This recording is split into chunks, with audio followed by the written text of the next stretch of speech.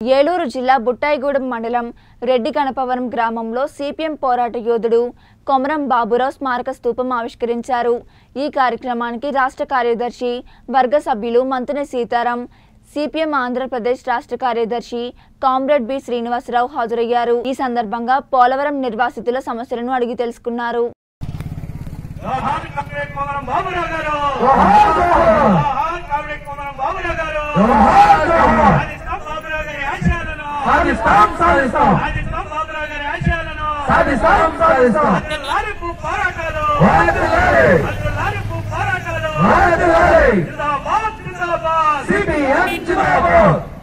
మిత్రులారా అందరూ లైన్గా మన శిబిరం వద్దకి వెళ్ళవలసిందిగా కోరుతా ఉన్నాం. సభాధ్యక్షులు రామకృష్ణ గారు వేదిక మీద ఉన్న మన పార్టీ రాష్ట్ర కార్యదర్శి వి శ్రీనివాసరావు గారు జిల్లా కార్యదర్శి బాబురావు గారు మన జిల్లా మన మండల నాయకులు అలాగే ఈ సభకి హాజరైన గిరిజన సోదరి సోదరులు అనేక మంది వ్యవసాయ కార్మిక ఇతర మన ప్రజా సంఘాల కార్యకర్తలు అందరికీ కూడా నమస్కారం. ఒక రకమైన అననుకూలమైన పరిస్థితిలో మనం ఇవాళ ఈ సభని జరుపుకుంటున్నాం. చాలా తీవ్రమైన ఎండ నలభై ఐదు డిగ్రీలు ఉంది. మీరందరూ కూడా ఉదయం ఉపాధి పని చేసుకుని కష్టపడి చాలా చైతన్యంతో ఈ సభకి హాజరయ్యారు. మనం ఇప్పటికే లేట్ అయింది ఈ సభ నిర్వహించడం ఈ స్తూపాన్ని ఆవిష్కరించడం మధ్యలో కోవిడ్ రావడం. కోవిడ్ సందర్భంగా పెద్ద ఎత్తున మనం సమీకరణ చేయడం సాధ్యం కాదు కాబట్టి కొంత వాయిదా వేసాం. ఇప్పుడు కొంత సాధారణ పరిస్థితి వచ్చింది కాబట్టి వెంటనే దీన్ని అనుకుంటే ఇప్పుడు వేసవి వచ్చింది. ఏమైనా మళ్ళీ వర్షాలు వస్తే మనందరం కూడా సభలు జరపడం సాధ్యం కాదు. అందుకు కొంత ఈ వేసవి అనేది అనానుకూలమైనప్పటికి కూడా ఈ రోజున ఈ సభకి మండల కమిటీ నిర్ణయించి ఈ సభని నిర్ణయించింది. సరే నేను సాధ్యం తట్టుకు చాలా విషయాలు.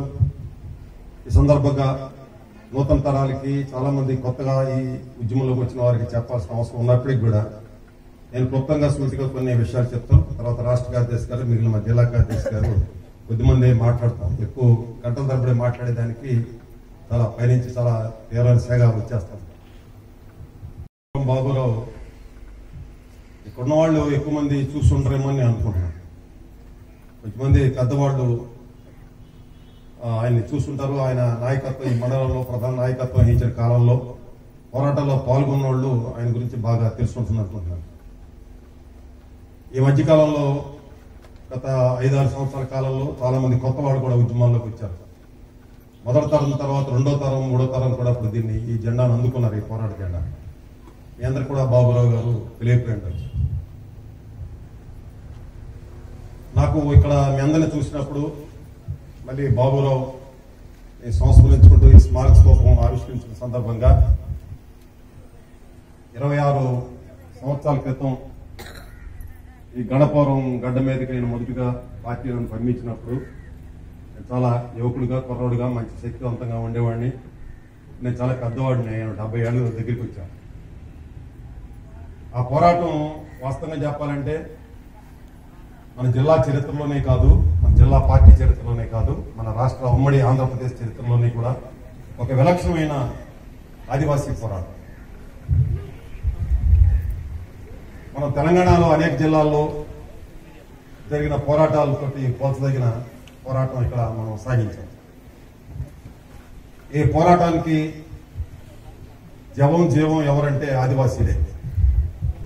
మన పార్టీకి ఎంత సామర్థ్యాన్ని ఉండొచ్చు మన పార్టీ నాయకత్వానికి ఎంత నేతృత్వం వహించే దాంట్లో ఎంత పటిష్టమైన నిర్మాణ అనుభవం ఉండొచ్చు మా అందరికి కూడా అలాంటి కెపాసిటీ ఉంటే ఉండొచ్చు. కానీ ఆ రోజు నుంచి ఈ రోజు వరకు నేను చెప్పే ఒకే మాట అండి ఈ పోరాటం ఇంతవరకు ఇరవై ఆరు సంవత్సరాల పాటు ఈ భూ పోరాటాలు కానీ అనేక గ్రామాల్లో ప్రజా సమస్యల మీద అనేక ఉద్యమాలు సాగుతూ ఒక సజీవంగా ఈ ఉద్యమం ఇరవై ఆరు సంవత్సరాల పాటు బలహీన పడకుండా నిలబడి ఈ రోజున ఈ రకంగా మనకు ఉంది అంటే కారణం దీనికి మన ఆదివాసీల యొక్క చైతన్యం ఆదివాసీల యొక్క అత్యంత విశ్వాసం మన పోరాట పటిమ ఆదివాసీల యొక్క పోరాట పటిమ. ఇవన్నీ ప్రధాన కారణం. దాని తర్వాత మన పార్టీ నాయకత్వం పాత్ర కానివ్వండి. అనేక మంది ఈ మండలానికి కానీ ఈ జిల్లాకి నాయకత్వం ఇచ్చిన మన పార్టీ నాయకులు వారి యొక్క పాత్ర కానీ అన్ని కూడా రెండోదిగానే ద్వితీయంగానే చెప్పుకోవాల్సి ఉంటుంది. మార్క్స్ చెప్పిన మన ఆది గురువు మార్క్స్ చెప్పిన మహనీయుడు లెనిన్ చెప్పిన మహోన్నత విప్లవానికి నాయకత్వం వహించిన మావో చెప్పిన ఎవరు చెప్పాడంటే మొదలే వీరులు ప్రజలే చరిత్ర నిర్మాతలు. దాంట్లో నాయకత్వం అనేది ఒక సంస్థ అనేది దాని ఒక నాయకత్వ పాత్ర వహిస్తుంది. పోలవరం మండలంలో కోటపాడు కోండ్రకోట కోండ్రకోట ఆ, ఈ గ్రామాల పంచాయతీల ప్రజల్ని ఈ పోలవరం మునక నుంచి తీసుకొచ్చి ఇక్కడ పునరావాసం కల్పించారు. ఇక్కడ ఇల్లు కట్టించారు చేతులు దులిపేసుకున్నారు. వాళ్ళకి కావాల్సిన ఏ సదుపాయాలు ఇక్కడ లేవు. నీటి సదుపాయాలు లేదు చివరికి ఇక్కడ అక్కడ పుట్టి పెరిగినటువంటి వాళ్ళకి ఆడపిల్లలకి అసలు పొలాలు కూడా ఎకరాకి ఎకరా అని చెప్పారు. ఇంతవరకు పట్టాలు కూడా ఇవ్వలేదు. ఆ ఎకరా అక్కడ ఉండడంలో బాగా సొంతం ఉండేటువంటి విలువైన భూములకి ఇక్కడ ఎకరాకు నాలుగు ఎకరాలు వస్తాయి. అట్లాగే రిహాబిలిటేషన్ కూడా ఆరున్నర లక్ష ఇచ్చారు. ఇంటి పనులు చేసుకోవడానికి సరిపోతుంది. అందుకని ఏ సదుపాయాలు లేకుండా రిహాబిలిటేషన్ నామినల్గా ఇచ్చి నీళ్ళల్లో నుంచి చేపను తీసుకొచ్చి ఒజ్జున పడేస్తే ఎట్లా గెలగెల కొట్టుకుంటారు ఇక్కడ ప్రజల పరిస్థితి అలా ఉంది. వాళ్ళు చాలా ఒంటరితనం. ఇక్కడ ఉండి కూడా అందరూ ఇంతమంది ఉండి కూడా అందరూ ఒంటరి. ఎవరికి వాళ్ళు ఒంటరితనం వీలవుతున్నటువంటి పరిస్థితి ఉన్నది ఈ రకంగా షెడ్యూల్డ్ ఏరియాలో ఉన్నటువంటి గిరిజన ప్రజలను తీసుకొచ్చి తీరనటువంటి అన్యాయం చేశారు. ప్రభుత్వం రిహాబిలిటేషన్ చట్టం ప్రకారం అన్ని సదుపాయాలు కల్పించాలి. ట్రైబల్ ఏజెన్సీ చట్టం కింద డెబ్బై మూడు డెబ్బై నాలుగు రాజధాని సవరణ చట్టం ప్రకారం స్వయం ప్రతిపత్తి పంచాయతీలు పంచాయతీలకు సర్వాధికారాలు ఇవ్వాలి.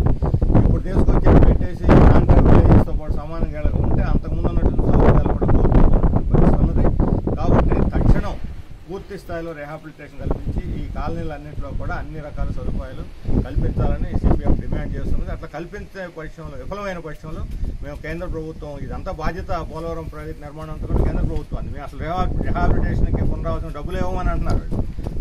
ముప్పై ఐదు వేల కోట్ల రూపాయలు ఇవ్వాల్సి వస్తే ఐదు వందల యాభై వేల కోట్లు ఇచ్చి చేతులు దులిపేసుకుంటుంది. చాలా బాధ్యత రహితంగాను వీళ్ళ పట్ల వివక్షత గిరిజనుల పట్ల వివక్షత ప్రదర్శించే విధంగా కేంద్ర ప్రభుత్వం మోడీ ప్రభుత్వం వ్యవహరిస్తున్నది.